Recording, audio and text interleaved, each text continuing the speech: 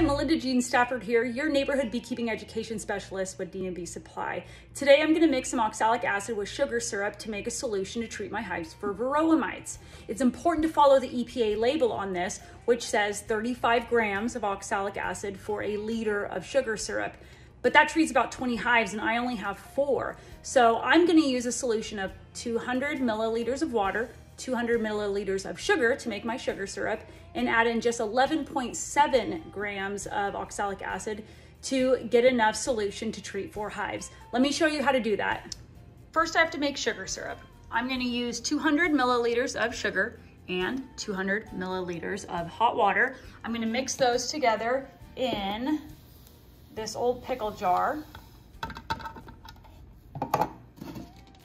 Want to use something that I'm not planning to use for food, that hot water will allow it to dissolve really quickly. Once I get that dissolved, I'm going to add the oxalic acid. To follow the EPA approved label, I must measure out 11.7 grams to go into my sugar syrup mixture. So you can see that I've done that here with the kitchen scale.